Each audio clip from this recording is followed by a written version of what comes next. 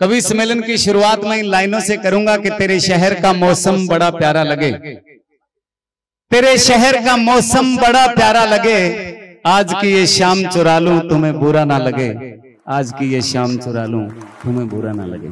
मैं कलेक्टर साहब, भगवान के पास गया एक दिन, सवा पाँच का प्रसाद चढ़ा के लाफ्टर शो में आते आते लाफ्टर शो में आते आते ही भगवान के पास गया। भी मेरे पुराने बहुत दोस्त है गाँव के बचपन के गंगानगर नौकरी की चंडीगढ़ नौकरी की वहाँ के बड़े दोस्त है।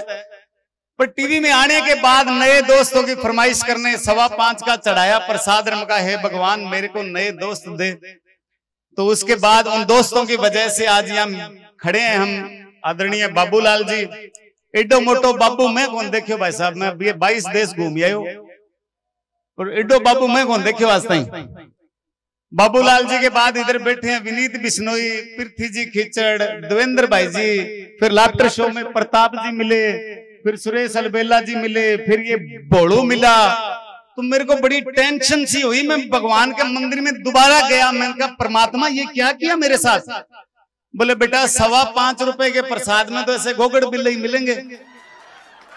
तू कहा दोस्ती की फरमाइश कर रहा है? मैं कहा, दिनेश जुनेजा घूम रहे हमारे पीआरओ साहब आए, हमारे अमित साहू जी है, ऐसे कोई स्मार्ट से दोस्त देने थे?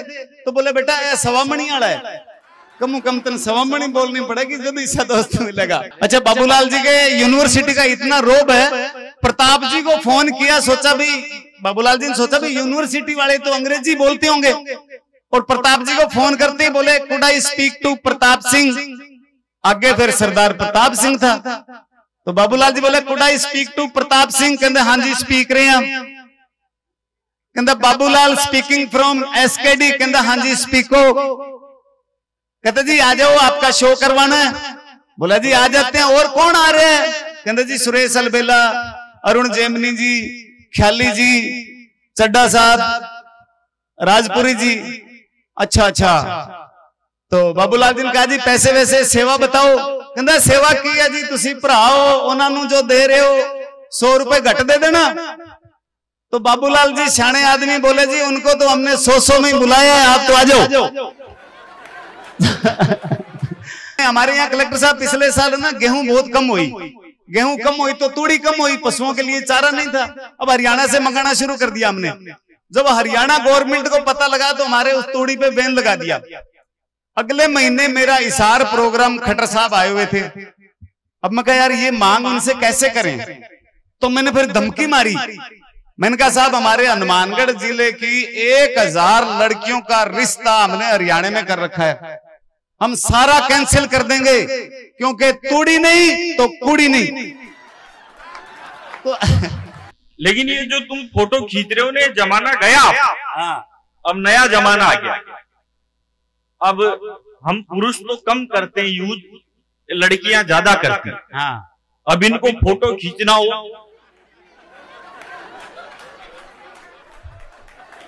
आप ढंग से देखना। सेल्फी खींचते टाइम लड़कियों का और बीड़ी पीते टाइम गाँव के बूढ़े डोकरों का मुँह एक जैसा हो जाता है। बहुत बढ़िया। और मैं ज़िंदगी में सब करता हूँ लेकिन बीड़ी पीने वाले आदमी का बिल्कुल भी भरोसा नहीं करता। क्योंकि वो बार बार एक ही बात कहता है देख अग्नि हाथ में झूठ नहीं बोल रहा। वाह वाह वाह। क्या ऑब्जर्वेशन है। एक दिन मेरी लुगाई मेरे लिए खाना बना के लाई। तो मैंने कहा ये तेने कौन सा खाना बनाया कौन सी सब्ज़ी बनाई इसमें तो स्वाद ही नहीं आ रहा? उसने कोविड की मेडिकल टीम को कॉल कर दिया। बोली, मेरे हस्बैंड का स्वाद गायब हो चुका भाई साहब, वो मेरे को चौदह दिन के लिए उठा के ले गए। डायरेक्ट क्वारंटाइन वहाँ जैसे ही मैं गया तो उन्होंने मेरे से जाते ही पूछा, तुम किस किस से मिले थे? मैंने भी छूटते ही कहा, मेरी लुगाई से, मेरी साड़ी से, मेरी सासू से, मेरे ससुर से, मैंने भी पूरे खानदान को अंदर करवाया। मस्त रहना चाहिए भाई साहब के दुनिया में ऐसे ही बहुत सारी टेंशन पड़ी है। मैं तो इंटेलिजेंट आदमी देखो हम कभी क्या है? हम कभी पचास परसेंट पागल होते हैं। क्योंकि हंड्रेड परसेंट पागल तो वो होता है जो हमें बुलाता है।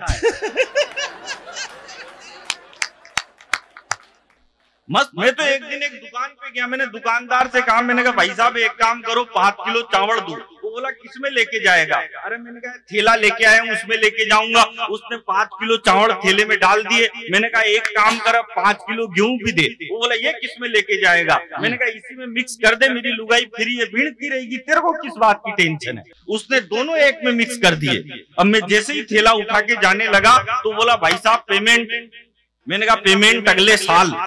बोला मैं उधारी में धंधा नहीं करता। मैंने कहा नहीं करता तो तेरा माल वापिस पकड़ अपने कई बात की टेंशन है यार।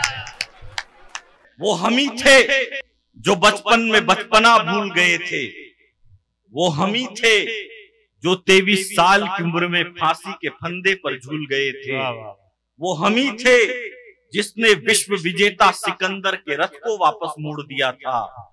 वो हम ही थे जिसने गर्भ में शिक्षा पाकर द्रोणाचार्य के चक्रव्यूह को तोड़, तोड़ दिया, दिया था, था। वो हम ही थे जिसने अंगारों पर चलने का साहस जुटा लिया था। और एक जड़ी बूटी मांगी थी किसी ने तो पूरा पहाड़ हथेली पर उठा लिया था। वाह वाह वाह वाह क्या बात अंग्रेज़ मुझसे बोला तेरे को इंग्लिश आती है? मैंने कहा यस। बोला कितनी? मैंने कहा बस। हालाँकि ख्याली भाई इंग्लिश ज़्यादा हार्ड नहीं होती। अच्छा। बस उसमें थोड़ा सा पानी ज़्यादा मिलाना पड़ता है। हाँ फिर तो वाक्य में हार्ड नहीं होती। उसके बाद वो भी सॉफ्ट हो जाती है। अंग्रेज़ बोला तेरे को इंग्लिश आती है? अरे मैंने कहा आती नहीं आती तू पूछ तो सही। बोले इंग्लिश आती है तो एक काम कर वो जो लड़की साइड में खड़ी है उसको इंग्लिश में यहाँ बुला। अब मैंने कह दिया मैंने कहा बेबी प्लीज़ कम लड़की आ गई। बगल में खड़ी हो गई। लेकिन अंग्रेज़ भी पट्टा डेढ़ छाना बोला अब इसको इंग्लिश में वापस वही भेज। अब भाई साहब ये वाली मेरे को नहीं आती। लेकिन मैं भी डेढ़ छाना भगवान कसम में वहीं पे गया जहाँ से लड़की आई थी। हम्म,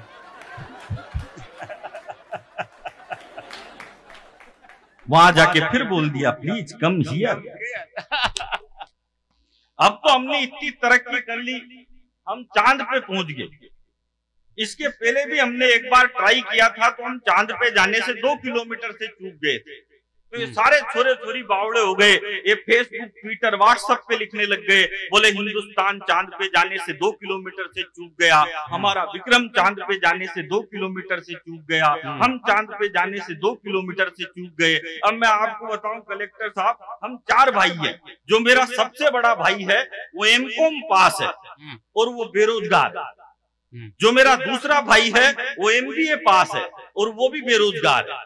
जो तीसरा है वो एमए है। जो कोई भी कर लेता है। और वो भी बेरोजगार है।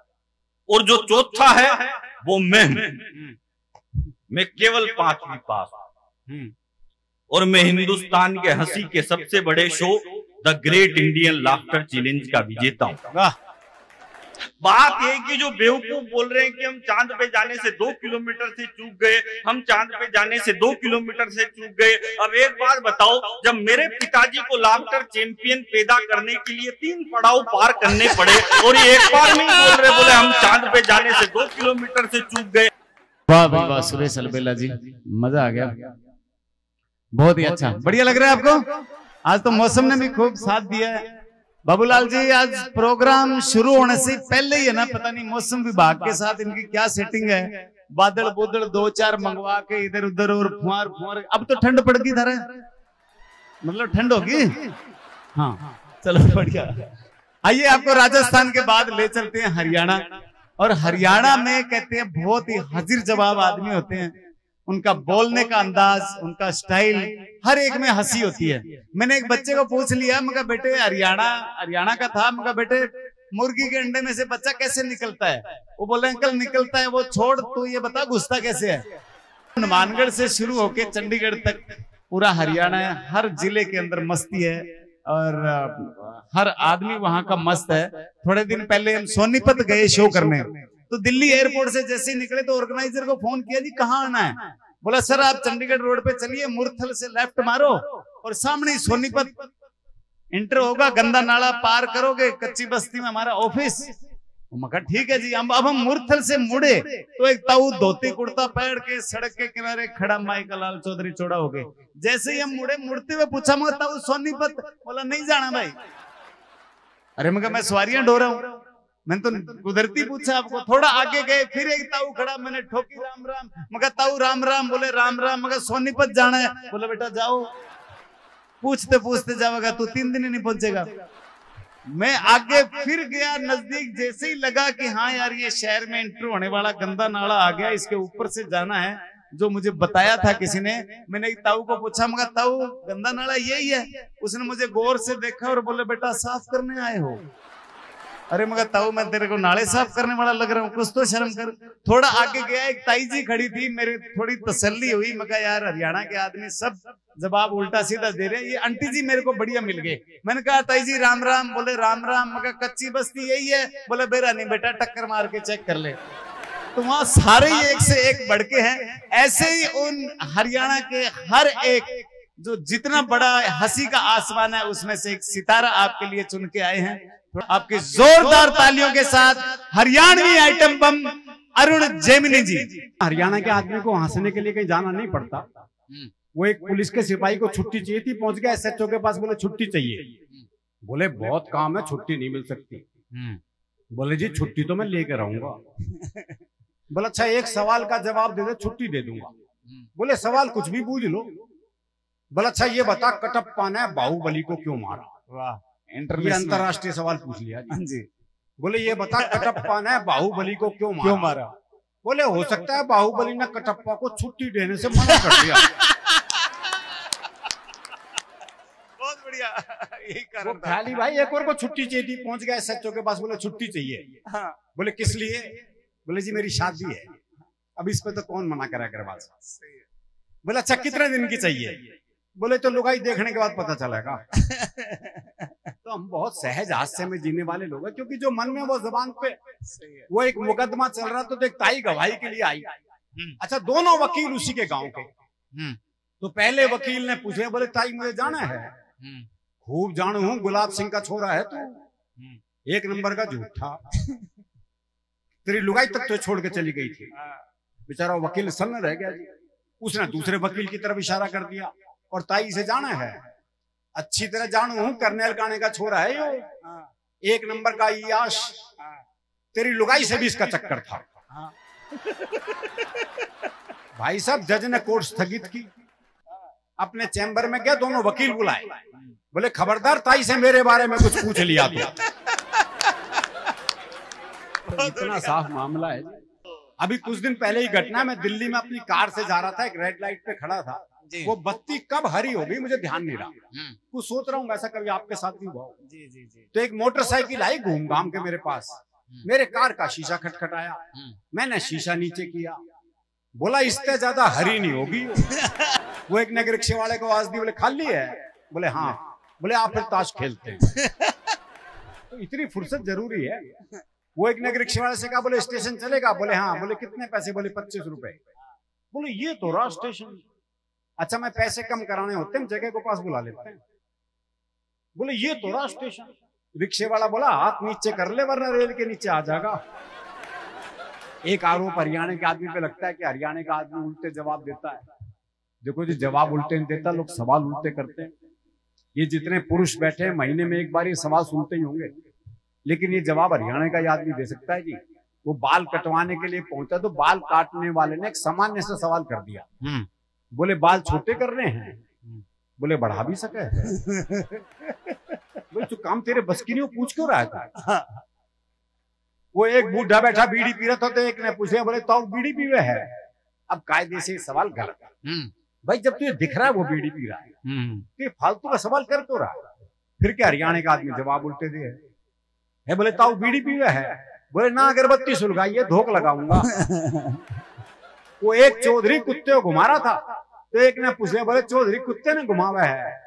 बोले ना ऊँट है कद छोटा रह गया इसका। हाँ, तो लोगों के सवाल उल्टे हैं भाई। जी जी। वो एक अर्ची जा रही थी लोग राम नाम सत्य करते हुए जा रहे थे। तो जो मरा था उसके छोरे से ही एक ने पूछा बोला यू मर गया के? अजीब सवाल है। पर आपने देखा होगा लोग आज सवाल पूछते हैं। आज ही पूछ रहे थे ख्याली से इसके हाथ में पट्टी बंदी हुई थी। बोले हाथ में चोट लग गई के? ये बोला ना फ़ैशन है। वो एक की भैंस कट गई रेल से तो उसने रेलवे पर मुकदमा कर दिया। तो जज ने इंजन ड्राइवर को बुलाया और पहला ही सवाल उससे ऐसा किया।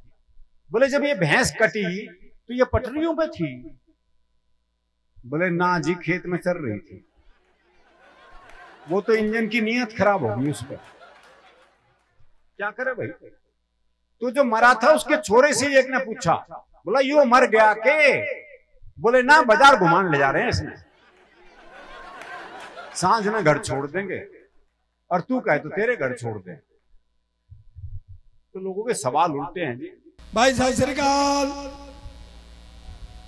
राम राम।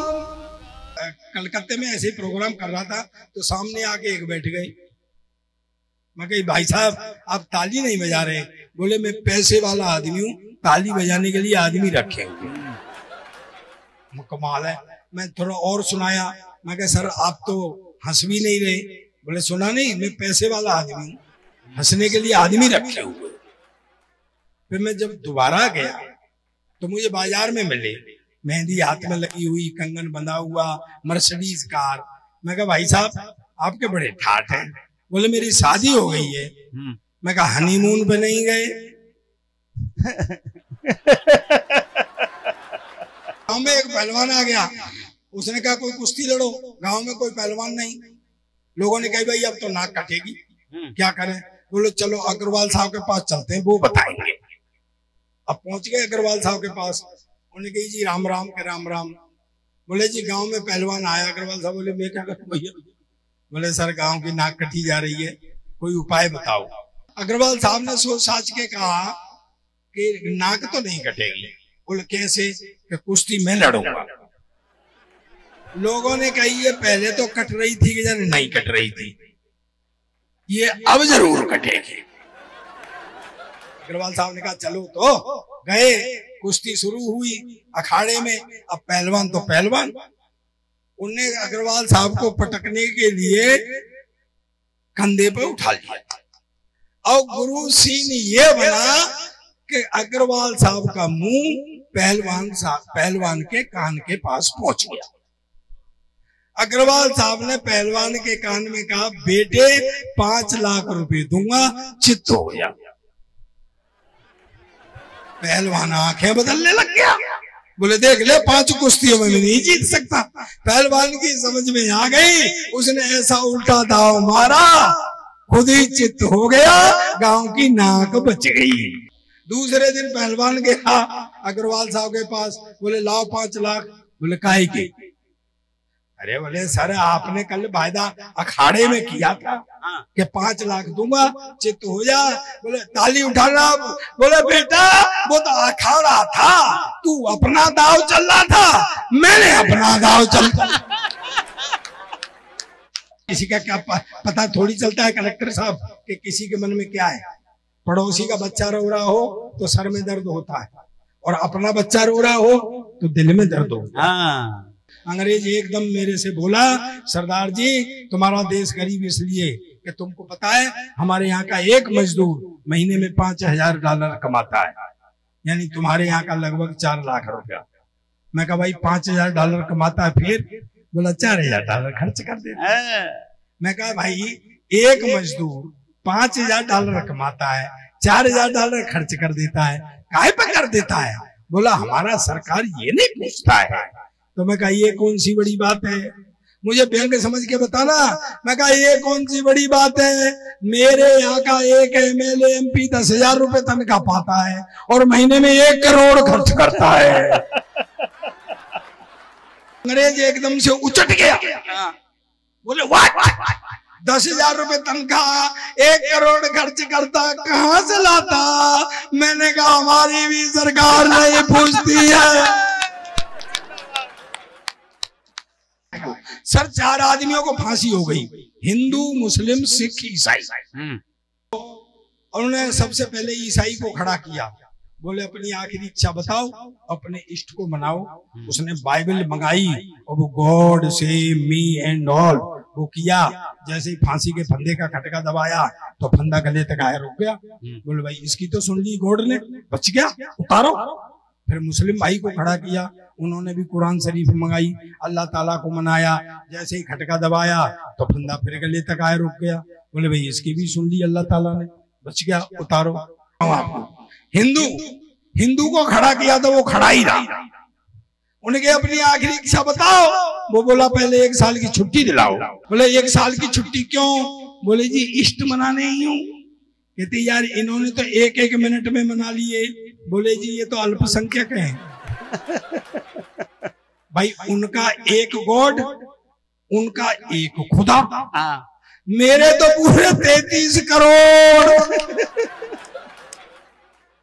एक मिनट में किस किस को मनाऊं? और जिसको नहीं मनाऊं वो ही मरवा दे। बोले, नहीं, देवों के देव महादेव हैं, तुम उनको मनाओ। उसने शंकर भगवान को ध्याया, जैसे ही घटका दबाया तो फंदा फिर गले तक आया, रुक गया। बोले, भाई, इसकी भी सुन ली भगवान ने, बच गया उतारो। सरदार को खड़ा किया, बोले, अपनी आखिरी इच्छा बताओ। सरदार बोला, बेवकूफ़ मत बनाओ। साले पहले से खटके को ठीक कराओ। सर मेरा एक दोस्त रहता जब भी मैं उसके घर जाता हूँ उसके बच्चे कहते हैं चाचा जी नमस्ते। अब के मैं जब दोबारा गया तो कहते मामा जी नमस्ते। मैं कहा बड़ा जल्दी रिश्ता बदल दिया। कहता है जब आप आ रहे थे ना तो पापा मम्मी से कह रहे थे ये साला फिर आ गया। तो हम जब रात को खाना वाना खा रहे थे तो उसका बड़ा बेटा आ गया। बोले पापा मुझे राजनीति सिखा दो। बोले "भाग, भाग, भाग, भाग, राजनीति नहीं करते। बोले जी फिर आप क्यों करते हैं? मैंने कहा यार ये सोएगा नहीं इसको कुछ बता दे। तो बोला बेटा राजनीति आप भी सुन लो ध्यान से। बोला राजनीति में होता क्या है? देश होता है तरक्की होती है अर्थव्यवस्था होती है सरकार होती है ये जनता होती है कर्मचारी होते हैं। यही सब चीज़ें होती है बोले अच्छा एक बात बोले जी मेरी घर में कमाता कौन है? बोले पापा आप। तो ये समझ लिए कि मैं अर्थव्यवस्था हूँ। बोले मम्मी तो मम्मी समझ ले सरकार है। बोले हम तनख्वाह किसको देते हैं? बोले जी नौकरानी को। तो ये समझ ले कि ये कर्मचारी है।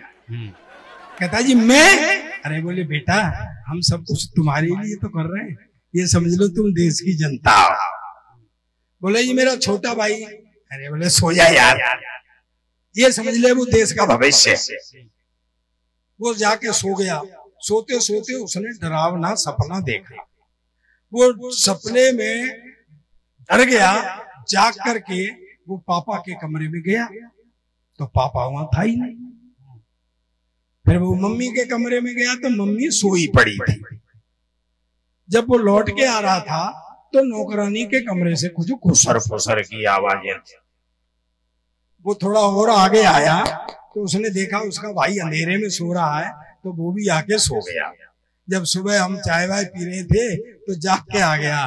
कहता, पापा, मैं तो राजनीति सीख गया। कही बड़ा जल्दी सीखा। क्या सीखा?